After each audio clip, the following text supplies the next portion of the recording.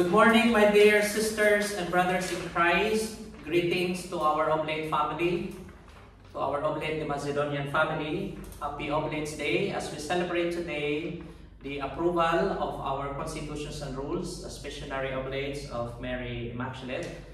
And in our morning prayer today, we are joined by the youth of El Shaddai, London. We begin in the name of the Father, and of the Son, and of the Holy Spirit. Amen. Come, Holy Spirit. Replace the tension within us with a holy relaxation. Replace the turbulence within us with a sacred calm.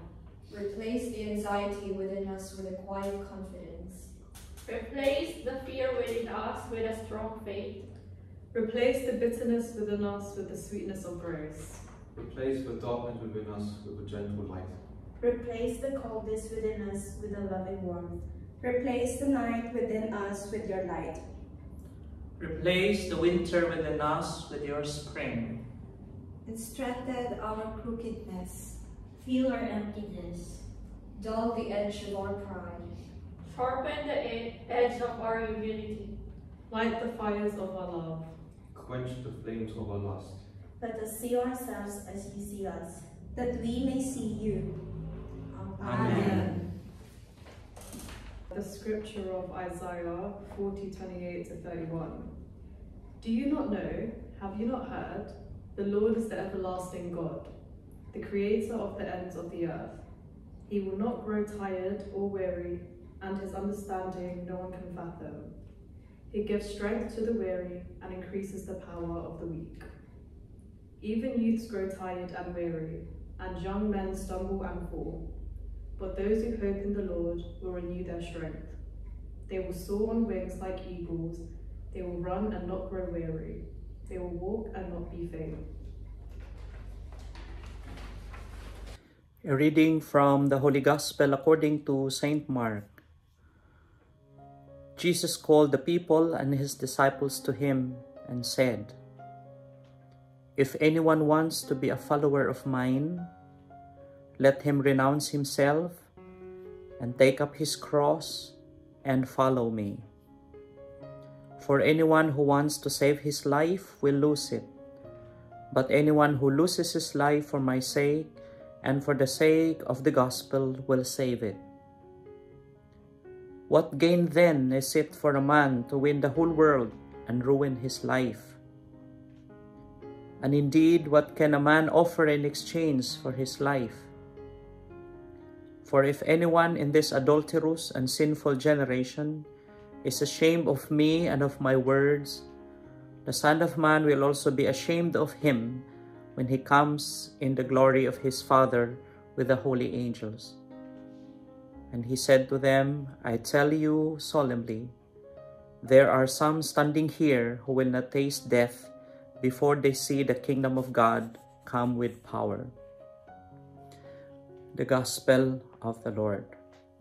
Praise to you, Lord Jesus Christ.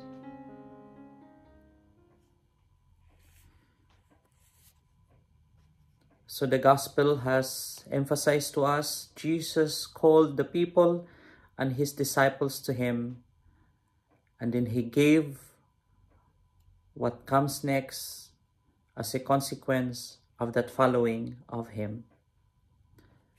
Christian life is not a joyriding as we know, but more of a cross carrying. Thus, the invitation of Jesus, take up your cross and follow me, is at the same time an appeal to the Christian community to remain steadfast in their commitment as Christian missionary disciples. St. Eugene de Mazenod heard the same call from Jesus and responded with courage, leaving everything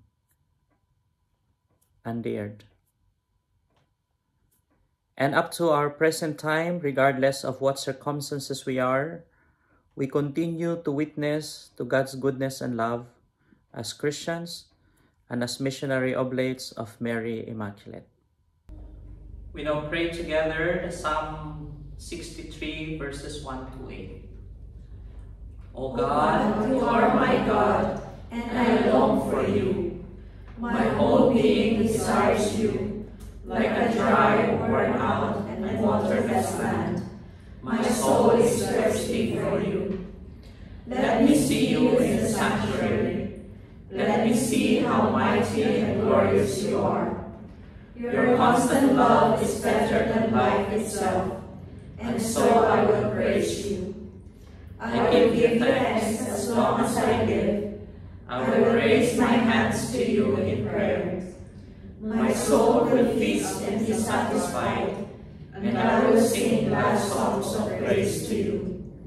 As I lie in bed, I remember you. All night long I think of you, because you have always been my help. In the shadow of your wings I sing for joy. I cling to you, and your hand keeps me safe. Glory be to the Father, and to the Son, and to the Holy Spirit. As it was in the beginning, is now, and ever shall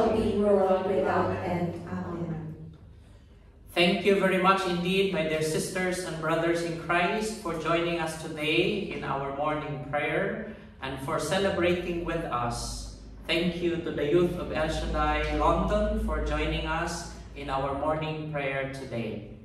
May the good Lord continue to bless and each and every one of us in the name of the Father, and of the Son, and of the Holy Spirit. Amen.